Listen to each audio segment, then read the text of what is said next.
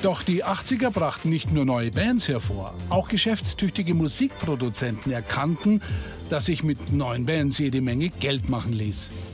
Ich bin im Londoner Stadtteil Southwark, wo noch heute der Produzent Pete Waterman sein Büro hat. In den 80ern war das eine ziemlich heruntergekommene, düstere Ecke der Stadt. Niemand hätte hier die Zentrale eines der erfolgreichsten Musikproduzententeams aller Zeiten vermutet. Mitte der 80er beherrschten Mike Stock, Matt Aitken und Pete Waterman mit ihren Produktionen die Hitparaden. Mit ihrem Team von knapp 50 Angestellten hatten sie die Erfolgsformel gefunden, mit dem neuen Sound den Mainstream zu erobern. Ich bin zu Gast beim Kopf hinter dieser Entwicklung, Pete Waterman.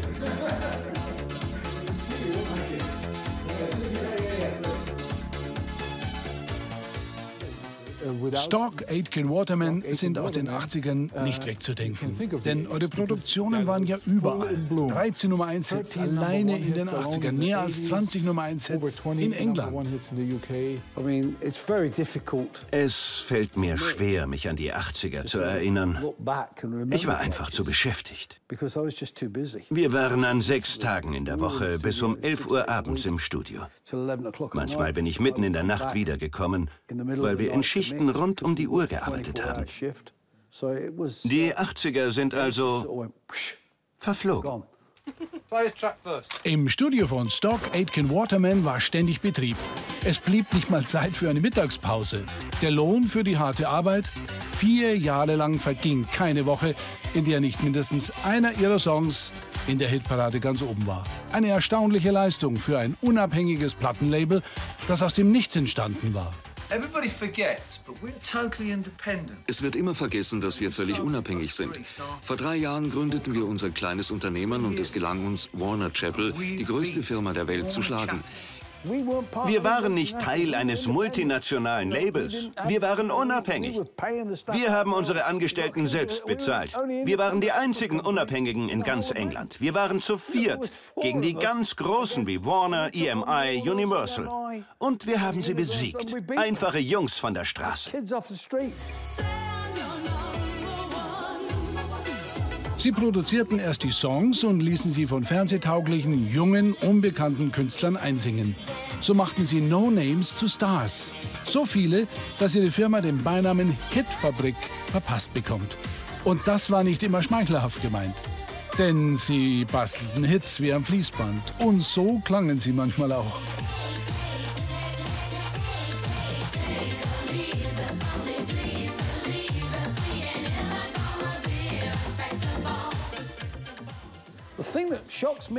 Was mich noch immer an den 80ern schockiert ist, wir sind damit durchgekommen. Da kam keiner und sagte, warum machen wir nicht das gleiche wie die? Die haben alle gesagt, nee, sowas wollen wir nicht machen. Ich konnte das einfach nicht fassen. Heute ist das ganz anders. Wenn jemand einen Hit hat, gibt es gleich 50 Songs, die genauso klingen. Nach zwei Stunden ist das Internet voll davon. Was war eigentlich das Geheimnis hinter eurem Sound? Immer der Song. Wir beherrschten eine große Bandbreite an Musikstilen. Vor allem hatten wir aber offenbar ein Gespür dafür, was einen großartigen Song ausmacht. Matt und Mike hatten in Bar Mitzvah-Bands auf zahlreichen Festen gespielt. Sie waren auf Ausflugsschiffen und so. Das war ihr Job und da musst du alles spielen. Deswegen konnten die meine Ideen auch musikalisch schnell umsetzen.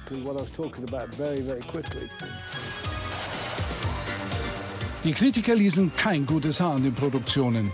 In einer Umfrage nach den schlimmsten Errungenschaften der 80er landeten Stock Aitken Waterman gar auf Platz 2 hinter Margaret Thatcher. Allen Kritikern zum Trotz, der Erfolg gab ihnen recht.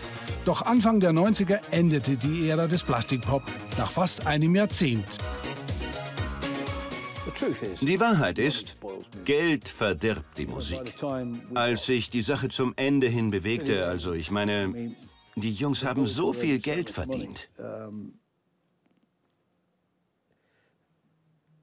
Die wollten lieber Golf spielen. Die fuhren drei Wochen in den Urlaub. Ich habe das nicht gemacht. Weißt du, ich war nach einer Woche wieder am Arbeiten. Naja, so ist das wohl. Es ist großartig, so viel Geld zu haben, aber es nimmt dir die Not, arbeiten zu müssen. Und ich habe das nicht wegen des Geldes gemacht. Ich wollte nur Musik machen.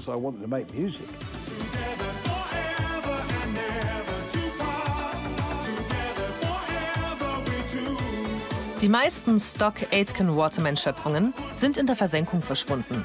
Doch es gibt auch Ausnahmen.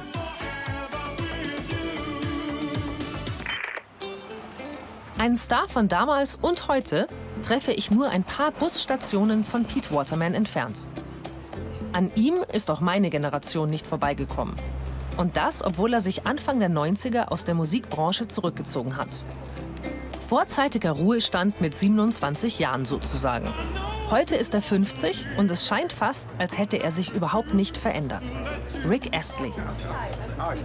Ich kann es kaum glauben, dass der ehemals erfolgreichste Künstler Großbritanniens so bodenständig und so offen ist. Selbst die Schüchternheit, für die er in den 80ern bekannt war, ist verflogen. Die war sogar in seinen Musikvideos ein Thema.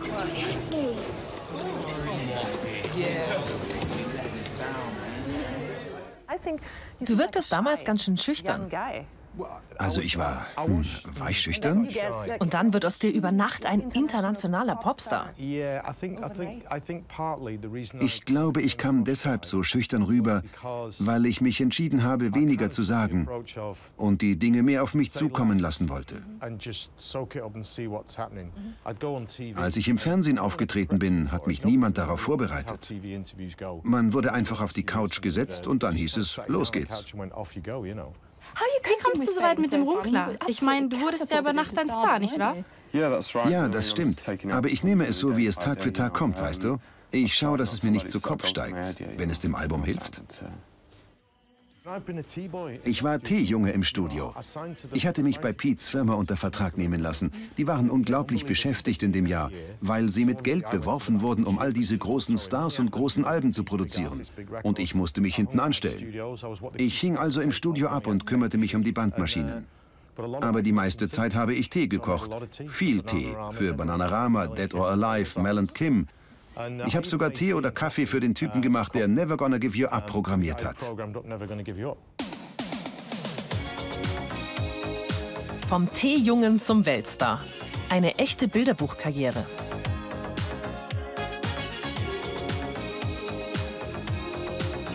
Hinter dem Welterfolg steht aber ein Geistesblitz von Pete Waterman. Rick lebte bei mir und ich war am Telefon mit meiner Ex-Freundin. Weil das Gespräch zwei Stunden dauerte, waren wir spät dran für die Arbeit. Und Rick meinte zu mir, You're never gonna give her up. Du wirst sie nie aufgeben. Und ich meinte, ah, das ist es. Boom.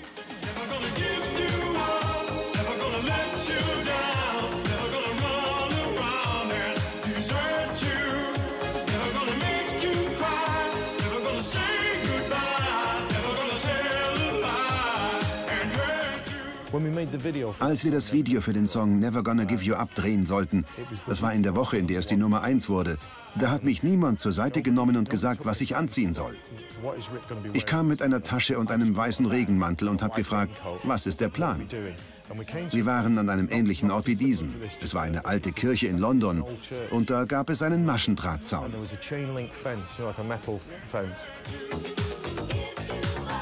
Und der Regisseur, der ist jetzt doch tatsächlich berühmt, der meinte zu mir, willst du vor dem Zaun da tanzen? Und ich meinte nur, na klar, lass uns loslegen.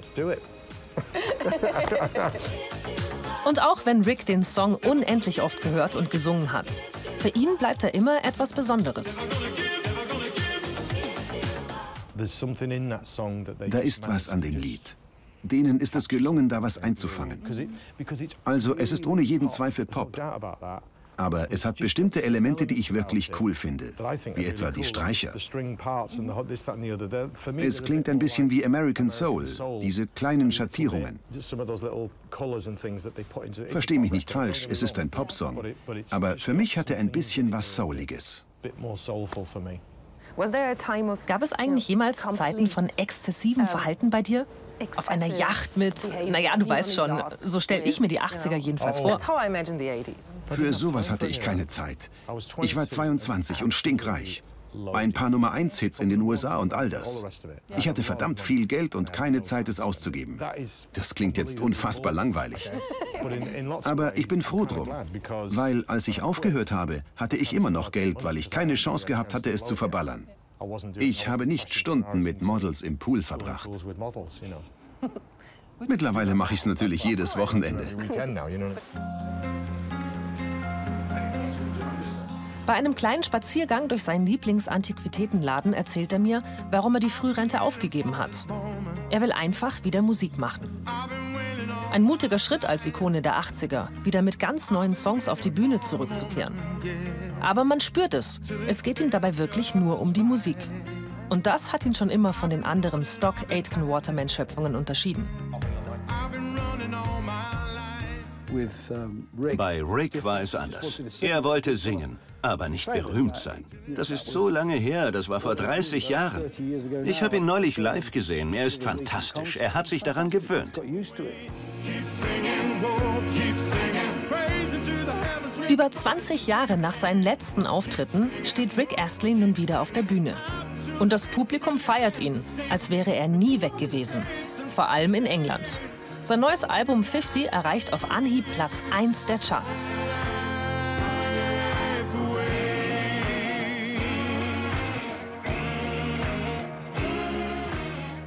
Du wirkst ziemlich souverän. Du hast dein Album 50 genannt.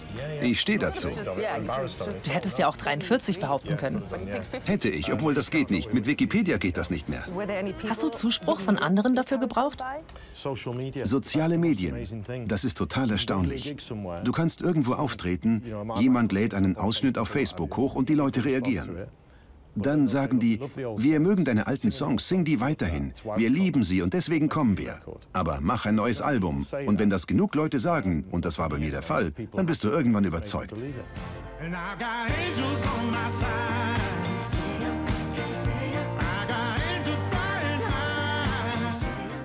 Du musst mich verstehen. Ich habe den Jungen vor 30 Jahren entdeckt und mir gedacht, mein Gott, was für eine Stimme.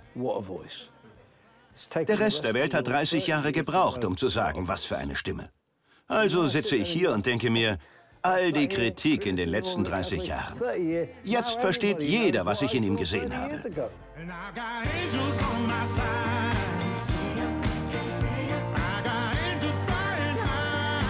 Hört man das neue Album, merkt man schnell. Rick Astley ist mit sich im Reinen und er klingt tatsächlich besser denn je.